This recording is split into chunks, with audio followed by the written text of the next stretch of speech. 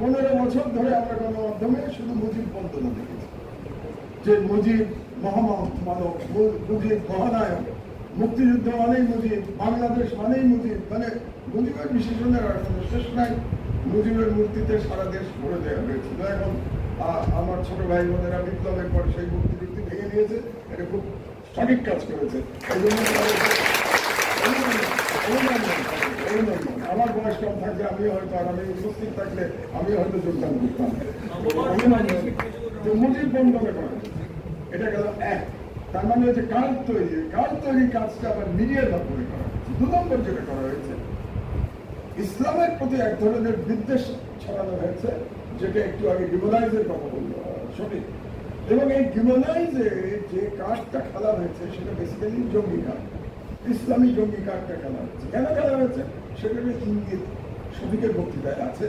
শফিক দু হাজার তিনের কথা বলছে ওয়ার এগেন্স্ট টেরর তো ওয়ার এগেন্স্ট টেররের সময় যে যে নতুন তত্ত্ব মার্কিনিরা বের করল, যেটা বেসিক্যালি হান্টিংটনের থিসিস ছিল, যে ক্ল্যাশ অফ দ্য সিভিলাইজেশন যে পরবর্তী মানে সোভিয়েত ইউনিয়নের পতনের পরে পরবর্তী যুদ্ধ যেটা হবে হান্টিংটন থিসিস অনুযায়ী পশ্চিমা সভ্যতার সাথে একটা হবে ইসলামের বিরুদ্ধে আর একটা হবে চায়নার বিরুদ্ধে। এই ছিল মোটা দাগে। আমরা যদি সহজ ভাষায় বুঝতে চাই, তাহলে হান্টিংটনের থিসিস এবং বুশ প্রেসিডেন্ট হওয়ার পরে সে হান্টিংটনের থিসিস অনুযায়ী বিশ্বকে পরিচালনা করতে চেয়েছে। সুতরাং জঙ্গি কার্ডটা খুব ইফেক্টিভ কার্ড ছিল এবং বাংলাদেশে আমরা দেখেছি জঙ্গি কার্ড কীভাবে ব্যবহৃত হয়েছে। যেমন গ্রামের সব দরিদ্র কৃষক পরিবারের ছেলেদের ধরে এনে তাদেরকে ডিবিতে আটকে রেখে গুম করে, কারণ তাদের কোনো রেকর্ড দেখানো হয়নি। আমি নিজে ডিবিতে ছিলাম রিমান্ডে উনচল্লিশ দিন। এদের কোনো রেকর্ড দেখানো হতো না। এবং এদেরকে পরে একটা বাড়িতে ট্রান্সফার করা যেমন ঢাকা শহরে